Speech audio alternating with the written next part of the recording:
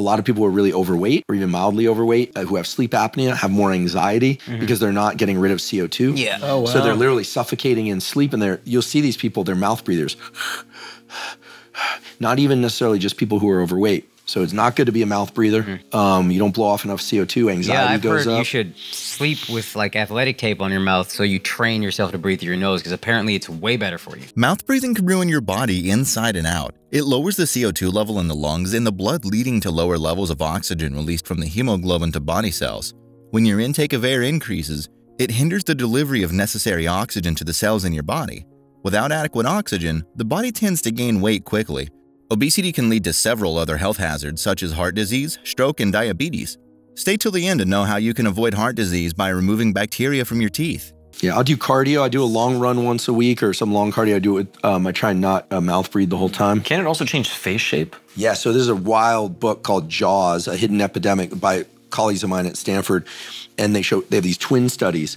One kid grows up in a culture where they eat a lot of soft food, drinking Capri Sun, eating applesauce, baby food. The other one is, you know, got stuck in the jungle or wherever it is, and they're chewing on bones and chewing their food. And one kid, these are identical twins, has beautiful jaw structure and high cheekbones, and the eyes look nice and clear. The other kid is like droopy, the teeth are there, and their mouth breathing. They show this. There's one case of this young girl who just she got a, a pet hamster, I think it was, got a, a uh, allergy to the hamster, and literally took this beautiful young girl, and she just her face just starts aging at a rapid rate. They get rid of the hamster. She goes back to nasal breathing. They do a little of encouragement of nasal breathing using the mouth closure thing at night. Do a little bit of medical tape, and like her these beautiful, almost like model esque features come back in this girl, jaw shape and the clear to the nasal passages. Mouth breathing can lead to several health issues, and if left untreated, it can lead to a low standard of life. Can you believe that something as simple as the way you breathe can lead to serious health complications? It can change your entire facial structure to something like a long, narrow face, crowded and crooked teeth, along with poor back and shoulder posture. You know, really, there's no reason why any of us should ever had had. bra- I had braces, but all your teeth should fit in your mouth, mm-hmm. right? And you should be able to put your tongue on the roof of your mouth with your mouth closed. I can't quite do it. Your, your palate should be somewhat wide. Now there's the Jawzerciser is really big in Hollywood. That and peptides are like taking over. Wait, Jawzerciser? Yeah, they, these like things where like Bouncy mouthpiece. yeah, it looks. The only problem is it makes people drool. It's pretty gross. But you know, you, it's Those work? Exercise. They definitely work. They change your facial structure. They dilate the nasal passages. You look at somebody who keeps their facial muscles strong. There's, and this is for women and men. Their jaw muscles strong. We're not talking about the like, you know, like. I mean, there's certain people who are like genetic freaks, like my friend Laird Hamilton. He's got you know, it's like big old neck and like Yeah. huge jaw. Like he looks like a you know an actor from the '70s or something. He's just Yeah. naturally that way. But people who care about their facial structure, especially who don't want, a lot of people are concerned with like, what's going on with my skin? A lot of women and men are like putting all this stuff on to figure out how to get rid of the droopy eyes. It's actually a facial muscle issue.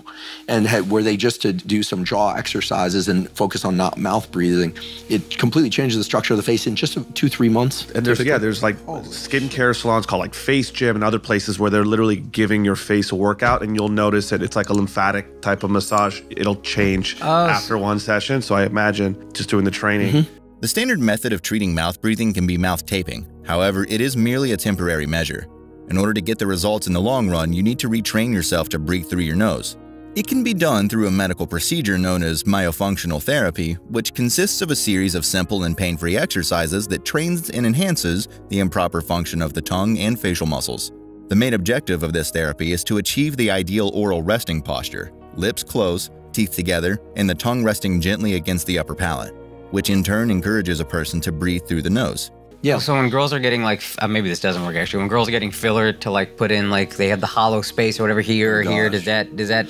Well, I look at the plastic surgery thing now, and it's kind of crazy. I mean, maybe this just reflects my age and my generation, but I see some people with wearing so much dark eye makeup, plus they're getting the cheekbone inserts. They look like skeletons. Hmm. Now, that's not, yeah, listen, everyone's got their taste, especially if they're really lean, you know, and then facial structure is something that can be modified. Hmm. And so, the having a chewing your food, chewing hard foods is something we used to do a lot more. All this slurping down of food and calories we know isn't good from the obesity side, but it's also not good from the jaw structure, teeth structure, face structure.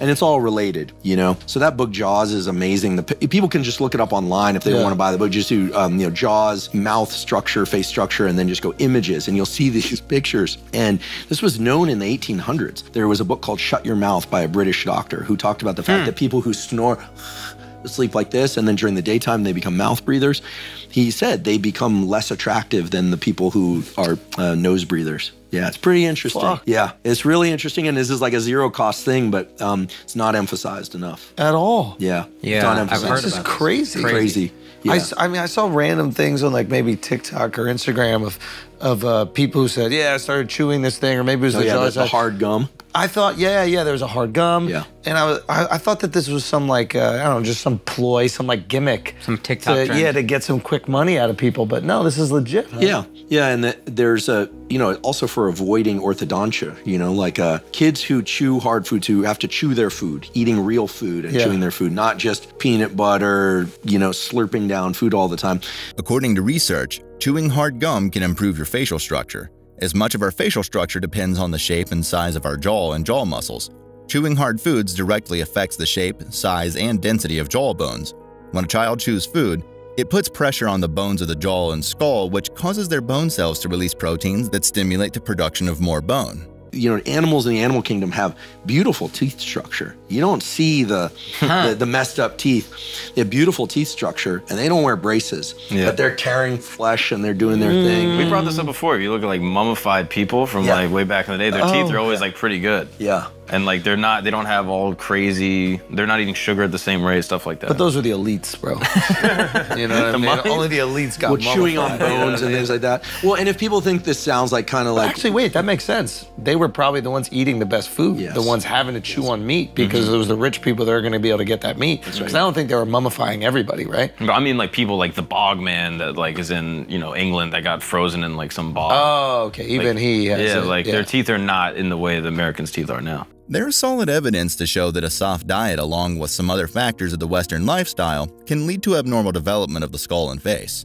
So then, why did why did humans start losing their teeth? Is it like the this nice structure. You mean? The- yeah, like you even look back at you know old presidents and stuff like that. Like George Washington had all fake teeth. Like what did he start ingesting that's getting rid of? Well, I think back then the problem was that you know there was no. I mean, dental care is still a good idea. Yeah. In fact, bacteria in the teeth and not. I'm terrible maybe about sugar, flossing. maybe sugar too. sugar and Yeah, also right. people not flossing. I mean, flossing and you know flossing and tooth care actually improves heart health. Brushing your teeth removes around 60% of bacteria from your teeth, and flossing between your teeth can remove the remaining bacteria and food particles.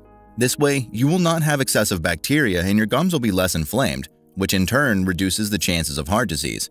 However, chewing hard food helps your jaw more than brushing and flossing your teeth. This is not pseudoscience. Yeah, I've heard that. Because if you have bacteria living in your mouth, right, and starting to take residence in your mouth and they get into your system, it can cause issues for the rest of your body. Hmm. I mean, we of course operate as a whole system. You know, I'm pretty bad about flossing. I was one of these kids that had tons of cavities. Uh, It was just, and I took decent, I you know, brush twice a day. I don't know, are any of you three times a day brushers? You get those I peop- try to be, those, but I those can't do it. people, they always impress me. They're brushing their teeth after lunch. Yeah, it's not me either.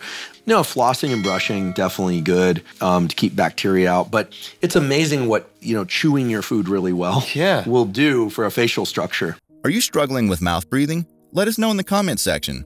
If you found this video interesting or helpful, don't forget to like this video, subscribe, and press the notification bell so you won't miss any of our future uploads. Until then, take care.